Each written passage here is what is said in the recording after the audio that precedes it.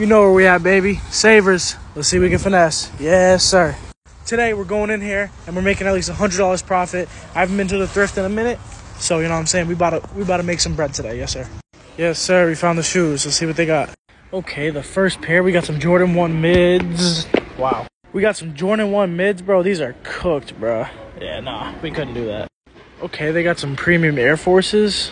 All right, these look like baseball or something like that. Let's see how much they want for these. Eight dollars is actually not that bad. Ew. All right, never mind. okay, what are these? Some airships or something? Oh, these are cooked, bro. Damn. Dang, these are just laying on the ground. The LeBron soldiers? Yo, these are actually tough, bro. I'm gonna cop these right now. What? Yo, no way. Okay, a pair, bro. These are Jordan, uh, something. I might actually grab eighteen dollars. Yeah, never mind. They're taxing.